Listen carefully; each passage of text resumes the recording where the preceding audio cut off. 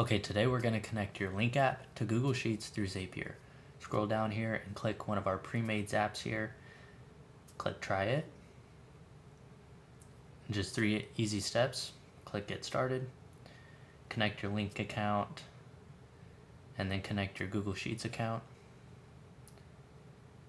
And then select the Google Drive that you want to use. You're going to want to make sure you have a spreadsheet created so we're gonna go here, title our spreadsheet, contact lead list, and then fill in the appropriate columns with the information that you want to sync. Click next, worksheet, and then you're gonna wanna check all these boxes. Click next, fill in all the correct information. Click next, and boom, let's test it out check the Google Sheets, see if it worked, and boom, there you go, worked perfectly. Now we are going to go on to the next step. Click next. Now turn it on. And now let's actually test it out on the app. So we're gonna go open the app, click export to Zapier. There we go. Boom.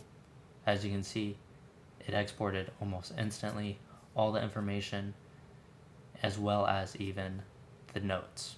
So there you have it, connecting your Link app to Google Sheets using Zapier. I'll see you in the next video.